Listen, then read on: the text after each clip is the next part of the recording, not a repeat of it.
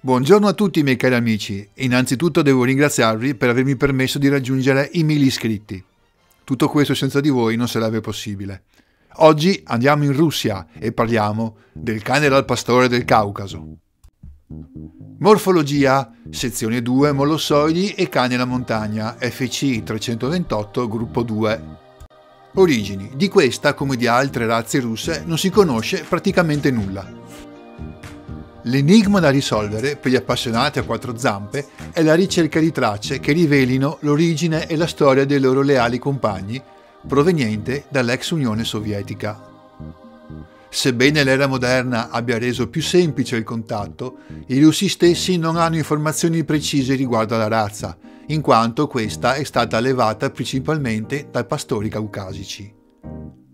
Dal 1979 ha iniziato ad apparire sui ring internazionali di esposizione e oggi è una razza abbastanza diffusa.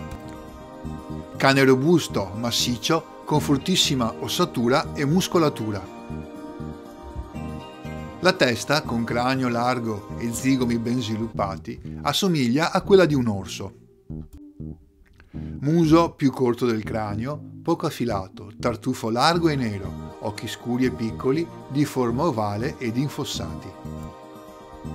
Sfoggia orecchie pendenti che si innalzano maestose, schiena possente, ampia e dritta, arti dritti, paralleli e forti, e l'ossatura poderosa.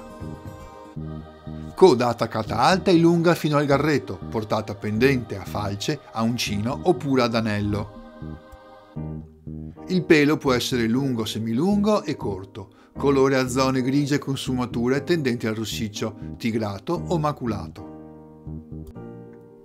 Il pastore del Caucaso è un nobile cane tra- dai tratti fieri e risoluti, che ha saputo adattarsi e sopravvivere nel corso dei millenni grazie al suo coraggio e alla sua determinazione. È un cane territoriale, diffidente nei confronti degli estranei, ha un forte istinto di protezione nei confronti del gregge e della propria famiglia. Con la sua perspicacia e sensibilità, affiliate come rasoi, il nostro compagno a quattro zampe possiede un radar per captare la presenza del rispetto da parte del suo padrone e quando la percepisce è lieto di offrire le sue zampe per aiutarlo in qualsiasi compito. Con la sua anima di pastore e l'istinto protettivo nel cuore, questo cane non richiede addestramenti eccessivamente complessi, acquista con rapidità. Come per molti altri cani da pastore che vivono all'aria aperta, l'alimentazione ricopre un ruolo fondamentale. Infatti il suo alimento principale dovrà essere la carne, accompagnata però da fibre, vitamine, carboidrati e sali minerali.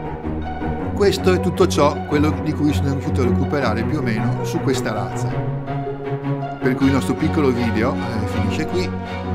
Io vi saluto, vi ringrazio e ci vediamo alla prossima. Ciao a tutti da Fido Tutorial.